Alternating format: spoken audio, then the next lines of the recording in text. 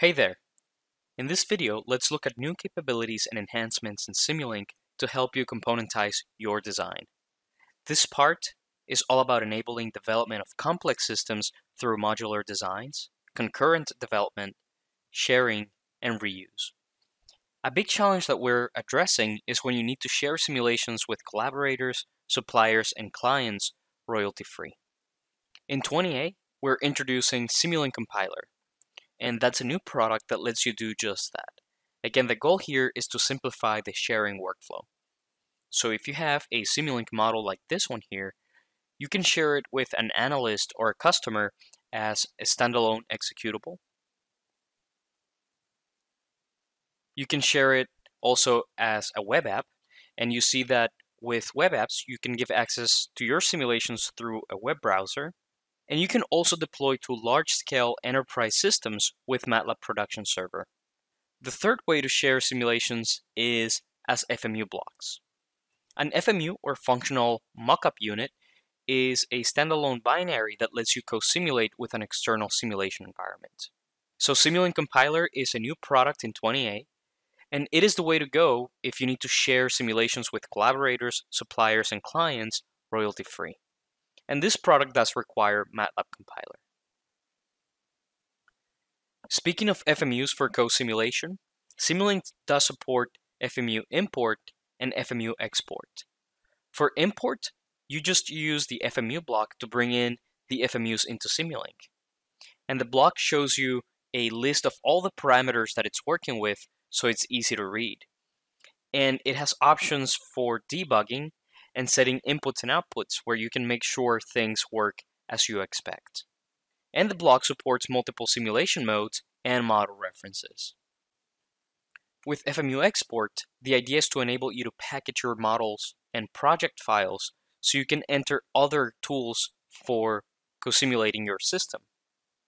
Simulink Compiler gives you a standalone fixed step FMU. With Simulink, you can create a tool coupling FMU that supports both fixed step and variable step FMUs. And it does this by running a MATLAB session. When you work on complex systems, you most likely have to create and manage custom components and custom blocks.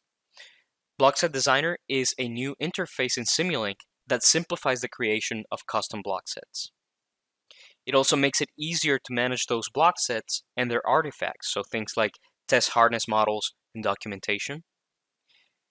It enables you to publish and distribute the block sets as a MATLAB toolbox that any other user can add to their MATLAB installation.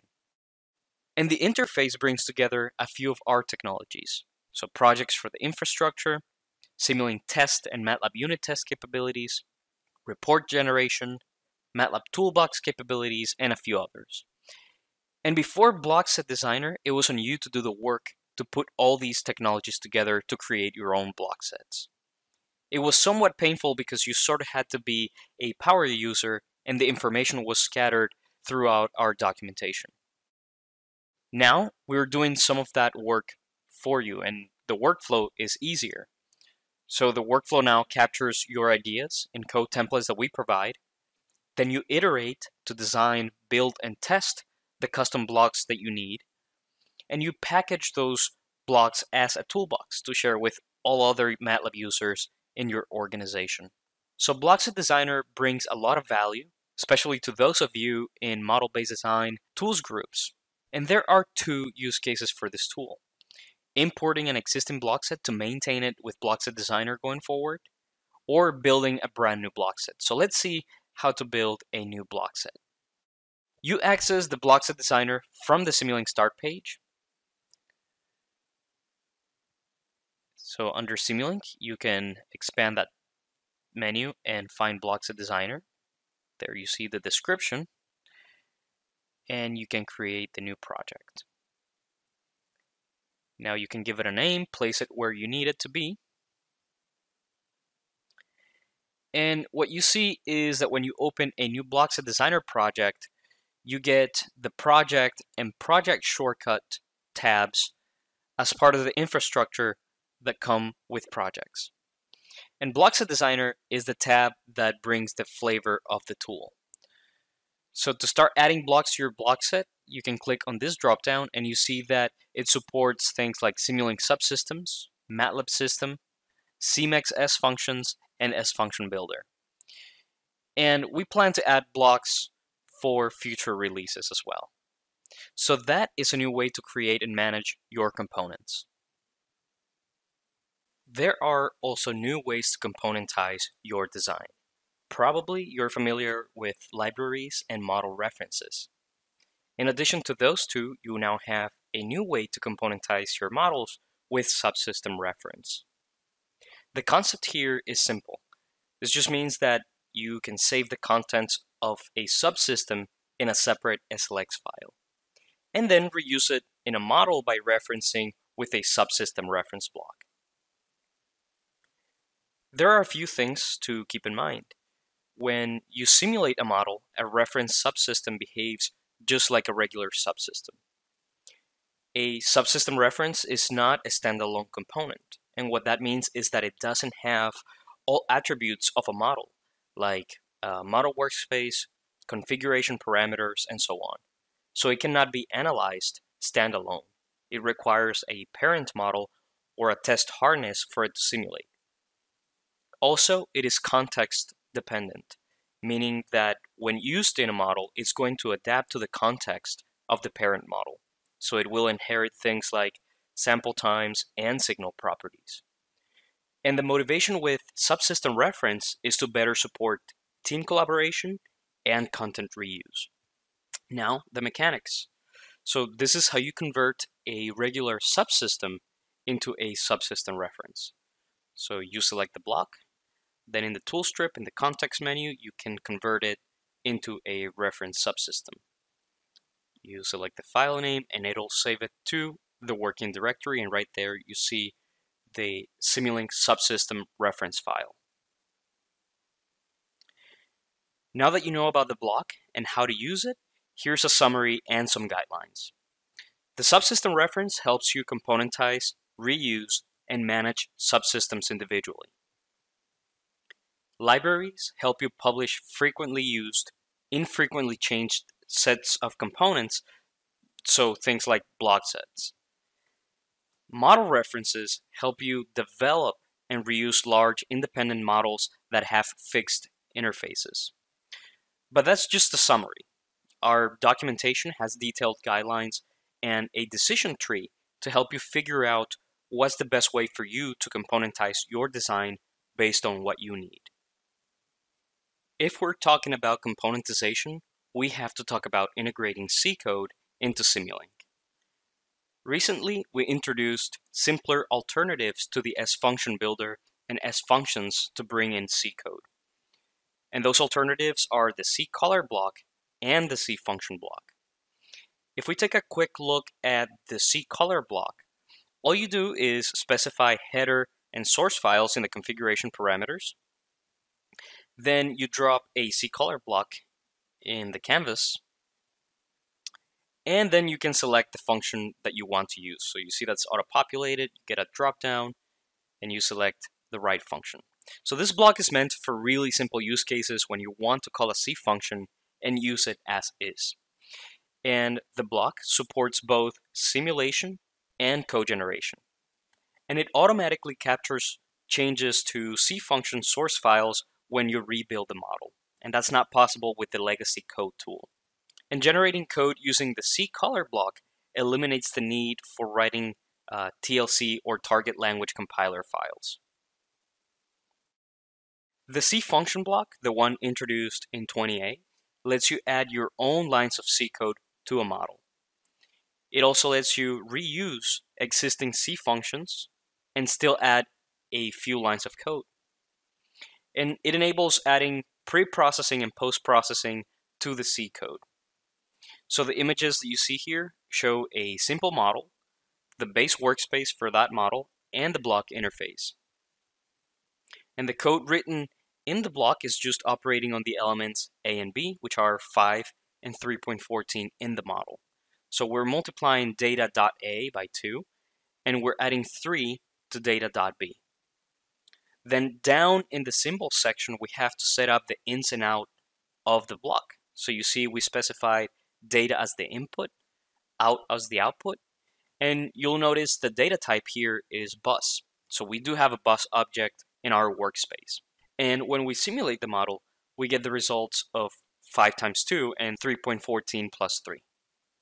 C function block also supports simulation and code generation without needing a TLC.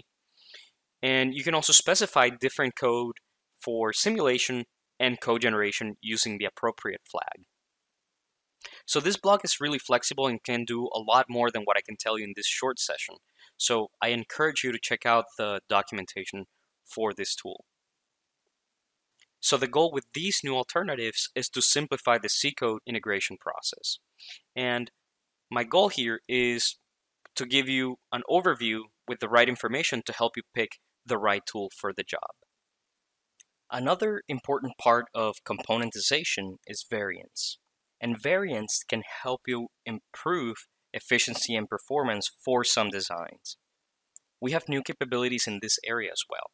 Uh, things like variant source and sink blocks, variant condition propagation for subsystems, and other improvements to variants.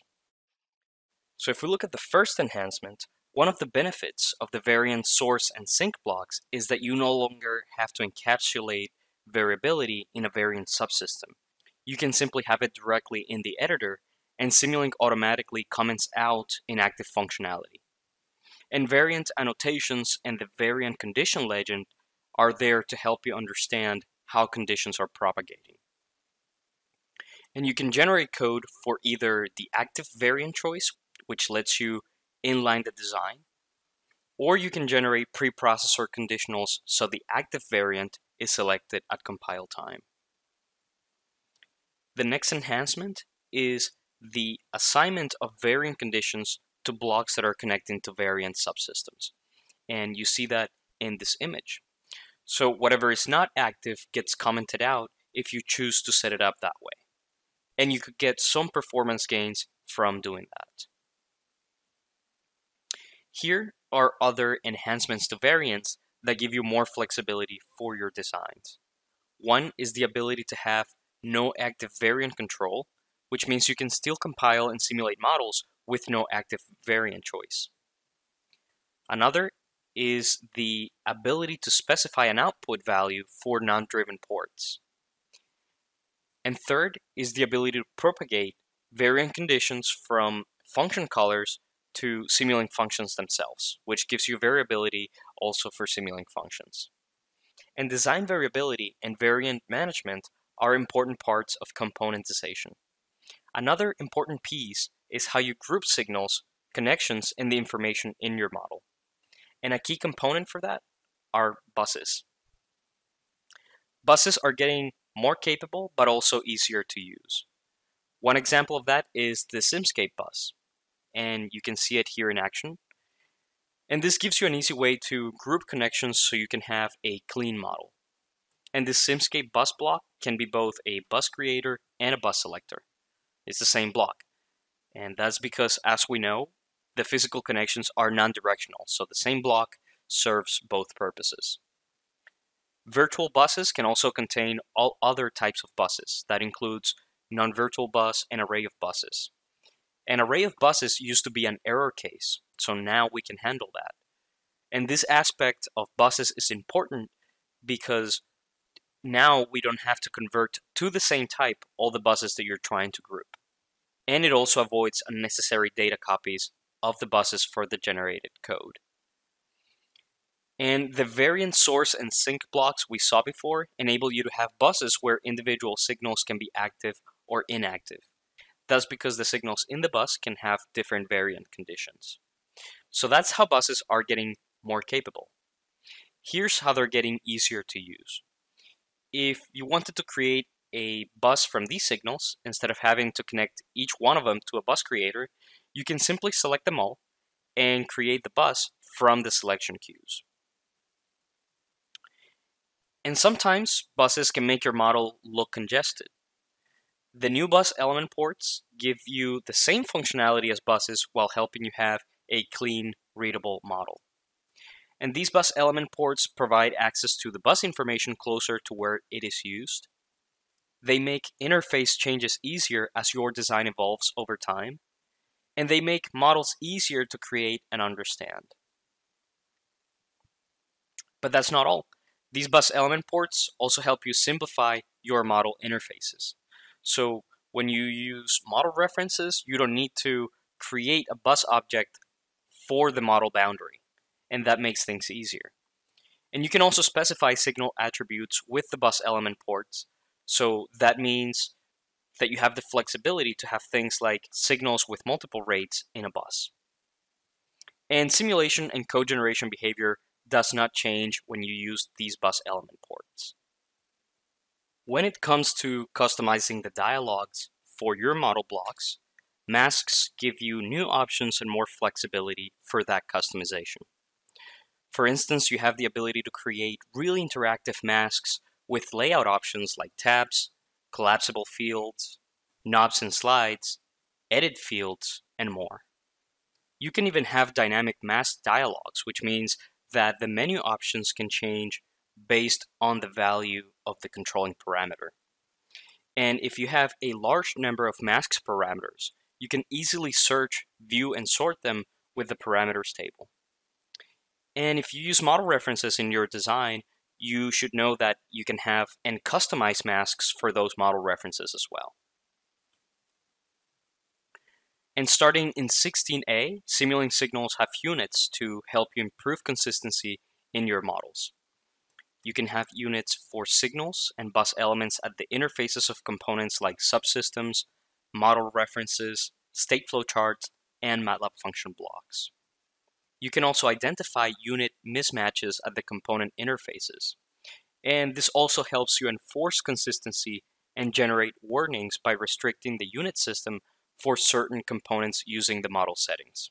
You simply go to the diagnostic options, and then you specify the allowed unit system. So that brings us to the end of the componentization section. See you in the next video.